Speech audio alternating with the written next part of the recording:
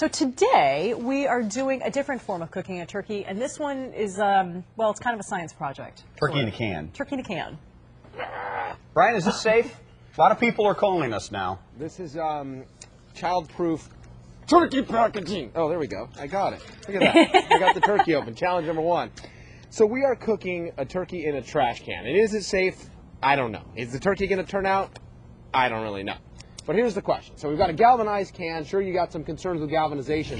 I burned it yesterday, got it really hot. It was it was red, and, and so fortunately nobody got burned in the making of this trash can. Um, I've built this stick.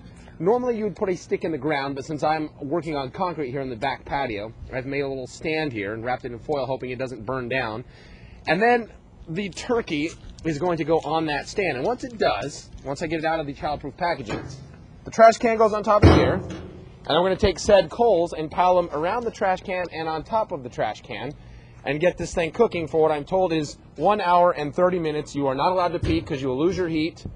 So we'll put the faith in the trash can turkey method and hope that it works out. And um, I'm going to get this thing on here in just a second. I did bring some oil. I'm going to brush some oil on it and a little seasonal. I would have liked to have uh, maybe put some brine, maybe brined it overnight, but I think Call 3 was using this turkey for a prop yesterday. Oh, we have a used turkey?